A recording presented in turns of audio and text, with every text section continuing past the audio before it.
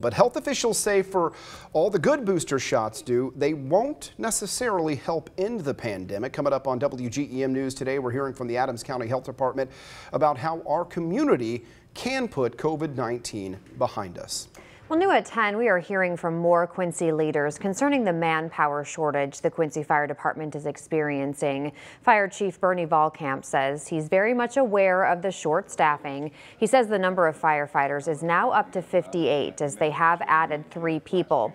Only one is currently working, though. Another, who was hired last week, is finishing training, and another, who is attending basic fire Fighting Academy will join a shift in mid-November. Vahlkamp says while 58 is an improvement, they would like to see that number get up to 60. It's going to take uh, work with the administration to continue to show the need for the numbers, the, the need for the two more firefighters. Uh, I believe we've got a good working relationship and we're going to attempt to get there. So I'm not uh, so worried about that. We got, but we got to find a way to make it work.